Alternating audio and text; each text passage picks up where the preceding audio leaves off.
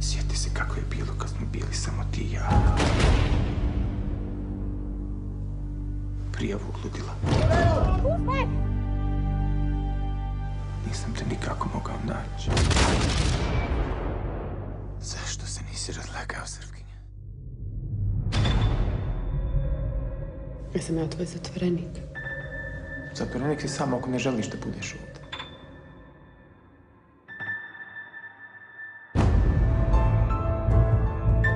Jesmo li tako strašni da nas sve treba istrijebiti?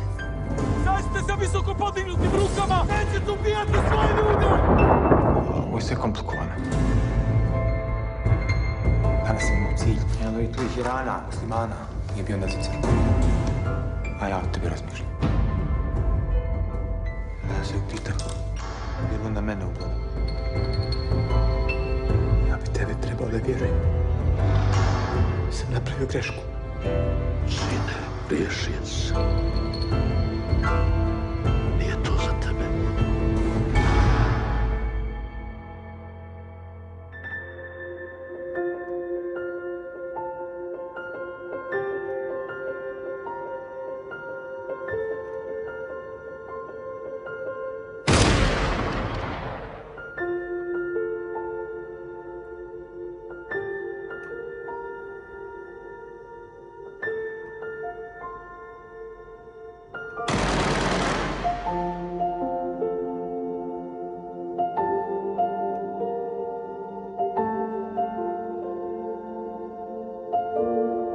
Ljudi nisu ono kako izgledaju.